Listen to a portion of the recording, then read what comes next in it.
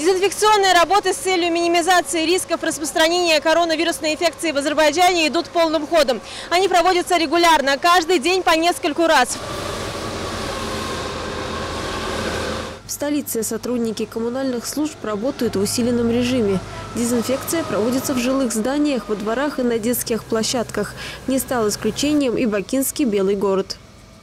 На территории Белого города во всех уже сданных проспектах, улицах, э, парках и общественных местах э, два раза в неделю производятся дезинфекционные работы.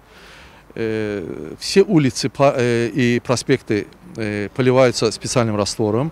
И ежедневно производятся работы по всем местам, где касаются люди там, в лифтовых кабинах, перилах, там, дверные ручки. Профилактические меры также принимаются на предприятиях и в офисах, центрах, действующих в Бакинском Белом городе. Однако не стоит забывать, что меры по дезинфекции хоть и действенные, но все же носят профилактический характер. Самым действенным способом минимизации рисков распространения вируса остается самоизоляция. Медина Гурбанова, Рауф Гусейнов, CBC.